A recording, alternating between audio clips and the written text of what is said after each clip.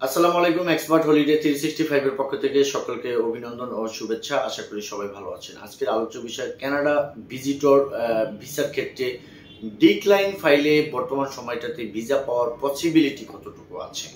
এটা আলোচ্য বিষয়। তবে সকলের প্রতি আন্তরিক রিকোয়েস্ট চ্যানেলটি সাবস্ক্রাইব করে রাখবেন যাতে করে নেক্সট ভিডিওগুলো আপনি খুব সহজেই পেতে পারেন। এছাড়া আপনাদের যদি কোনো মূল্যবান মতামত থাকে, চাইলে কমেন্টস বক্সে টাইপ করে রাখতে পারেন, আমরা সময় সুযোগ বুঝে একটা অ্যান্সার দেওয়ার চেষ্টা করবেন বন্ধুরা, আপনারা ক্যানাডাতে যারা বর্তমান সময়টাতে ডিক্লাইন হয়েছেন, অর্থাৎ রিফিউজড হয়ে গেছেন, এদের মাঝখান থেকে অনেকেরই প্রশ্ন যে আমরা অ্যাপ্লাই করলে আবার ভিসা পাবো কিনা?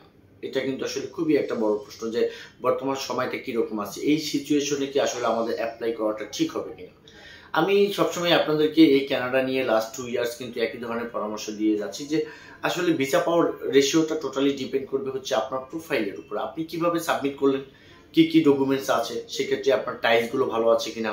আপনার সাফিসিয়েন্ট ব্যালেন্স আছে কিনা?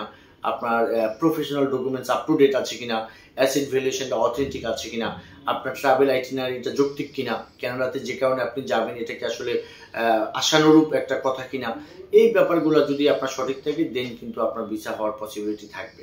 তো আপনি একবার না, আপনি অনেক বারবার ডিক্লাইন হওয়ার পর আপনার ভিসা না হতে পারে যদি আপনি এলোমেলো অবস্থায় ফাইলটাকে আপনি সাবমিট করেন।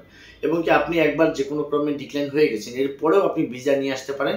যদি আপনার সেই ধরনের যৌক্তিক একটা ফাইল ভিসা অফিসারের আপনি কাছে যদি সেটা অনলাইন সিস্টেমিক ওয়েতে যদি পৌঁছতে পারেন। তো বন্ধুরা, যারা একবার ডিক্লাইন হয়ে গেছেন, এদের প্রশ্ন যে আবার অ্যাপ্লাই করলে পাবেন কিনা?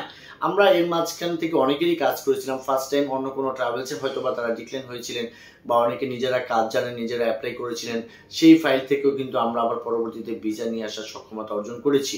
এরকম যারা আমাদের অডিয়েন্স আছেন, তারা বা শুনছেন, যারা, যাদের ভিসা হয়েছে, তারা তো অনেকেই অলরেডি জেনে গেছেন ব্যাপারটা। তো যাই হোক বন্ধুরা, যারা দূর দূরান্ত থেকে সবসময় ভিডিওগুলো দেখেন, আমি বলব যে প্রথমবার যদি আপনি ডিক্লাইন হয়ে থাকেন, তাহলে কি কারণে আপনাকে ডিক্লাইন করেছিল? সেটা কি আপনাকে ফ্যামিলি টাইস দেখিয়ে ডিক্লাইন করা হয়েছিল? নাকি আপনাকে ইনসাফিসিয়েন্ট ব্যালেন্স দেখিয়ে ডিক্লাইন করা হয়েছিল?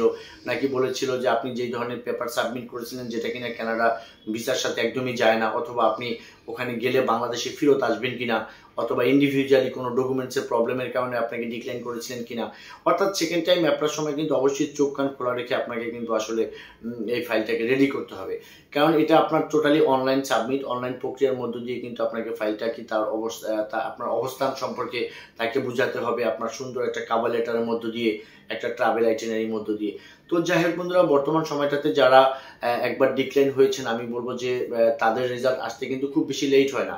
আগামীতে যেহেতু ক্রিসমাস ডে আছে থার্টি ফার্স্ট আছে, এই সময়টা আপনি এনজয় করার জন্য বা আপনার অবকাশ যাপন করার জন্য আপনি অবশ্যই আপনার সমস্ত ডকুমেন্টস লিগেল থাকলে বা ভালো থাকলে আপনার একটা যৌক্তিক দাবি আপনি কানাডাতে ঘুরতে যাবেন, সেটা আপনি নিজে যেতে পারেন অথবা আপনি উইথ আপনার ফ্যামিলি সহ আপনি সেটা অ্যাপ্লাই করতে পারেন, এটা কিন্তু আসলে দোষের কিছু না।